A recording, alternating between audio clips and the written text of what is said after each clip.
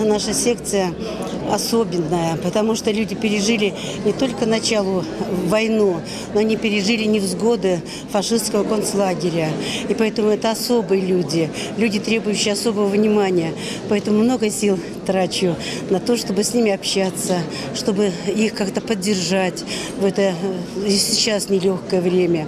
Поэтому э, секция особенная и работа особенная. Я Конечно, малолетний узник фашизма. Я родилась накануне войны, 20 июня 41 года. И вот это время нас немцы выгнали из дома. Мы жили в картофельной яме, ночевали, в общем-то, везде, где можно, где, где им не, не, не надо было жить. И потом они нас эвакуировали в Псковскую область, э, где-то в районе Дно. И там мы жили за колючей проволокой. Моя мама, мои два брата и моя бабушка. И вот мы там выжили, вот, э, жили там два года, семь месяцев. И два года назад по э, обоюдному решению многих членов партии мы начали проект, который так и назывался «Календарь Победы».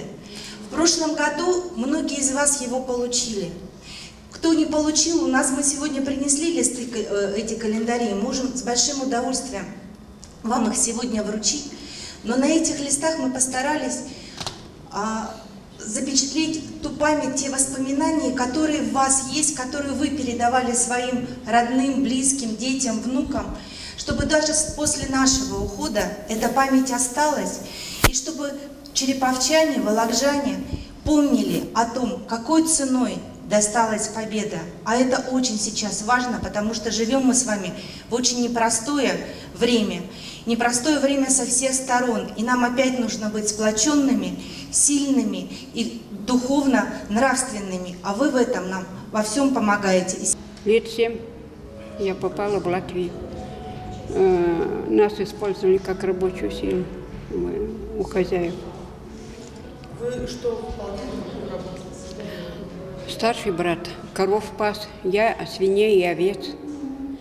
А младшие за цыплятами смотрели, чтобы коршун их не таскал.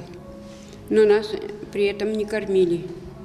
Э, давали старшему брату только на день бутылочку молока, картошину и кусочек хлеба. И вот все. Э, а мама работала у хозяев, так то, что ей удавалось тащить, вот тем и питались. И мы с младшей сестрой, которая младше меня на три года, ходили, собирали милостыню. Иногда кто-то подавал, а то спускали собак.